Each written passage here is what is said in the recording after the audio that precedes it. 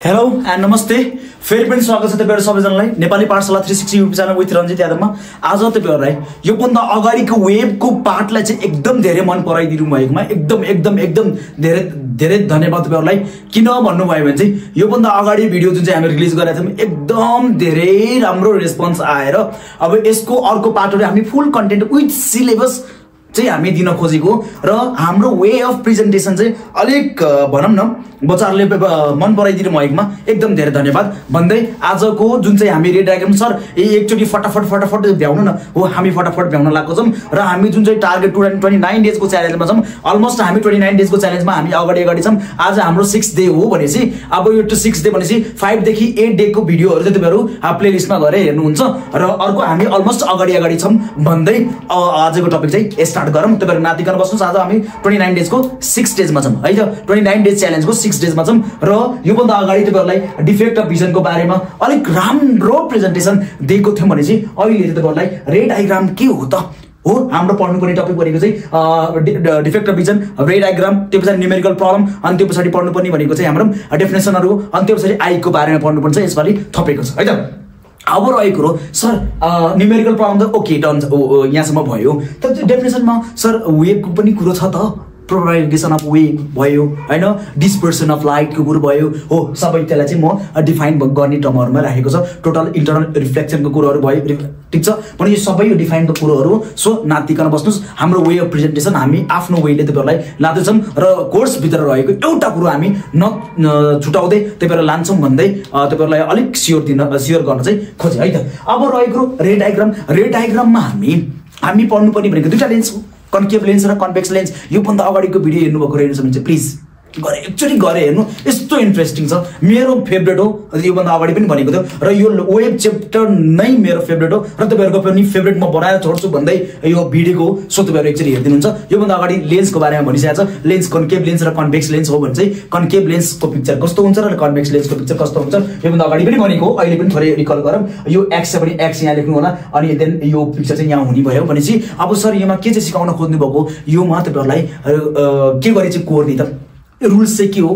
कुनलाई के भन्दो रहेछ? सेन्टर अप्टिकल सेन्टर भनेर के हो? फोकल लेन्थ भनेर के हो? प्रिन्सिपल एक्सिस भनेर के हो? प्रिन्सिपल फोकस भनेर के हो? अब्जेक्ट डिस्टेन्स भनेर के हो? अनि इमेज डिस्टेन्स भनेर के हो? हो यो कुरोहरू चाहिँ बुझाउन तपाईँहरूलाई आएको र यो गरिसक्नु भयो भने चाहिँ हामी न्युमेरिकल प्रब्लममा हामी के कोर्दै? डायग्राम रे डायग्राम कोर्दै अनि अगाडि बढ्नु भन्दै यो च्याप्टरलाई चाहिँ स्टार्ट गरौँ। र यो च्याप्टरमा तपाईँहरू के गर्नुहोस् भनेपछि अब त्यो टर्महरू सिकाउँछु म। त्यो टर्महरू चाहिँ लक गरेर बसिदिनुहुन्छ है। लक गरेर तपाईँहरूको आफ्नो दिमागमा चाहिँ लक गरिदिनुहुन्छ त्यो। यहाँ हेर्नुहोस् है यो लेन्स भयो यो लेन्सको कुरो गर्छौँ यो कुन लेन्स हो तपाईँलाई थाहा छ कन्भेक्स लेन्सको कुरो गरिरहेको छ भनेपछि अब यो लेन्सको सेन्टरलाई चाहिँ के भन्ने भयौँ हामी centre of lens centre of lens is known as optical centre ठिक छ? यो यसलाई ओ भन्छ भनेपछि यो C E N T R E centre of lens lens L E N S लेन्सलाई चाहिँ हामी के भन्ने भयो? अप्टिकल सेन्टर ओपिटिआइसिएल अप्टिकल सिइएनटिआरई सेन्टर भन्ने भयो कुरो बुझ्नुभयो centre of lens is known as optical centre कुरो बुझ्नुभयो एउटा टर्म चाहिँ तपाईँहरूको क्लियर भयो।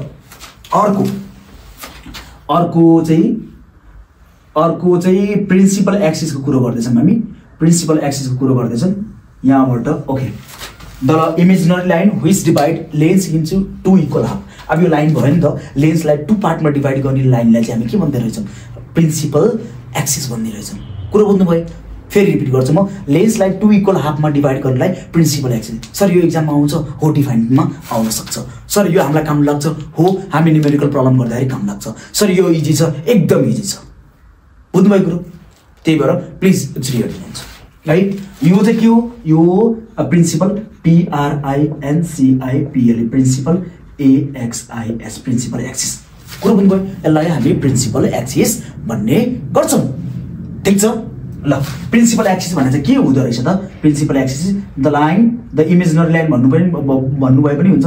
The line which divide which divides D I V I D E S divides lens lens into two equal half two equal half हो। Sir यो definition लेख्दा हुन्छ एकदम हुन्छ। द इमेजिनरी थप्नुभयो हुन्छ the imaginary line which divides lens into two equal one लेन्सलाई two equal हाफमा divide गर्नलाई प्रिन्सिपल एक्सिस नबिर्सिनुहोस् है नबिर्सिनुहोस् रेड डायग्राममा हामीलाई चाहिन्छ अब अर्को अर्को चाहिँ म तपाईँलाई यहाँ भनिदिन्छु अर्को चाहिँ हाम्रो ल यो भयो लेन्स भयो यो एफ एफ भन्छ फोकस भन्छौँ यसलाई फोकस पोइन्ट भन्छौँ फोकस पोइन्ट भन्छौँ र यसलाई चाहिँ हामी के पनि भन्छौँ प्रिन्सिपल फोकस पोइन्ट पनि भन्छौँ र प्रिन्सिपल फोकस पनि भन्छौँ पिआरआइएनसिआइपिएलई प्रिन्सिपल एफओसियुएस फोकस या focus point F O C U S focus POINT point कुरो बुझ्नुभयो? अब सर यसलाई प्रिन्सिपल फोकस चाहिँ किन भनिएको हो? र यो कहाँ हुन्छ त? यो चाहिँ यो चाहिँ ठ्याक्कै टु टू सेन्टिमिटरमा राखिन्छ। होइन अकर्डिङ टु अकर्डिङ टु जुन चाहिँ क्वेसन छ क्वेसन अनुसार राखिन्छ। तर हामी प्र्याक्टिस गर्ने बेला टु टू सेन्टिमिटरमा राख्छौँ। ठिक छ? यो लेन्स बनाउन पनि सिकाउँछौँ। जस्ट अहिले टर्मिनोलोजीहरू भनेको है अप्टिकल सेन्टर भनेको के हो प्रिन्सिपल एक्सिस भनेको के हो प्रिन्सिपल फोकस भनेको के हो टर्मिनोलोजीहरू चाहिँ भनौँ। एन्ड देन त्यो पछाडि चाहिँ हाम्रो प्रपर रुल्स छ त्यो ल छ त्यो ल चाहिँ डिस्कस गर्दै अगाडि बढौँला। है त? भनेपछि यो चाहिँ के हुनु भयो प्रिन्सिपल फोकस प्रिन्सिपल फोकस भनेको के हो त?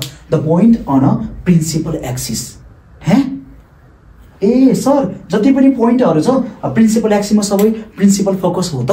हो यहाँ point on a principal axis. Point on a principal axis. Point on a principal axis. Point on a principal axis. Is known as principal focus nice अब अर्को।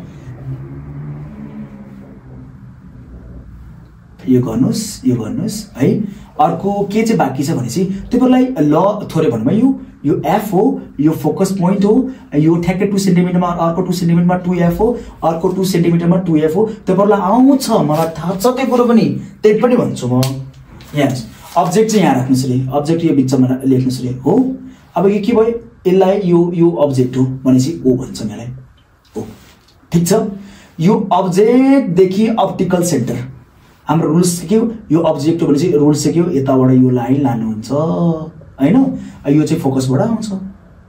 फोकसबाट आउँछ। होइन? तर सर यो अब्जेक्ट हो भने अब्जेक्टदेखि यो ओको डिस्टेन्सले के भन्ने त?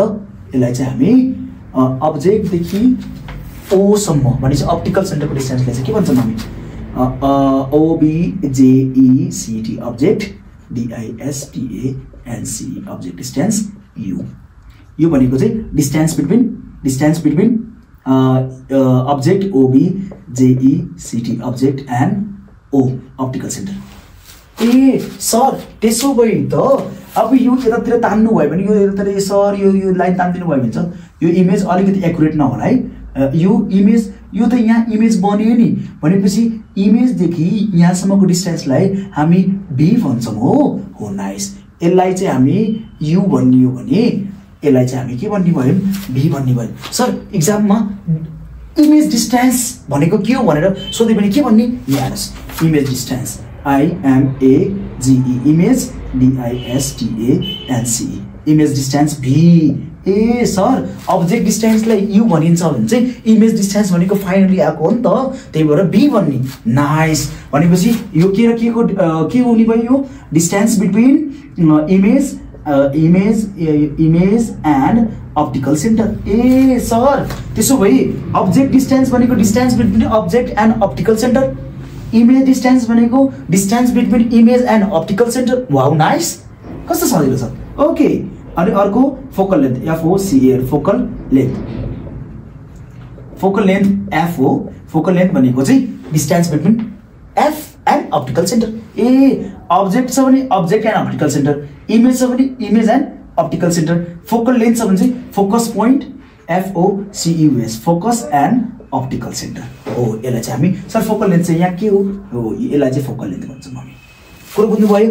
यति टर्मिनोलोजीहरू अर्को सेन्टर अफ कर्भेचर भन्ने छ त्यो सेन्टर अफ कर्भेचर एउटा छोडेर छन् त्यो कुरो क्लियर गऱ्यो भने चाहिँ यहाँ रे डायग्रामको लागि सबै आयो सर त्यसो भए रुल्स यही हो त। एउटा चाहिँ यहाँबाट जाने यो रुल्सको कुरो अहिले एकछिनमा हामी अर्को पार्टमा तपाईँहरूलाई गर्छौँ। यो पार्टमा चाहिँ टर्मिनोलोजीहरू चाहिँ के के छ त? भनेपछि हाम्रो के के सक्यो त? डिफेक्ट भिजन सक्यो।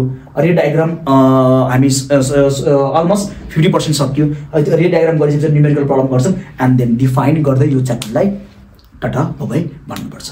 है त? भन्दै आजको लागि चाहिँ छुट्टिन्छौँ हस्त धन्यवाद bye bye. Take care stay tune stay connected web जिन्दाबाद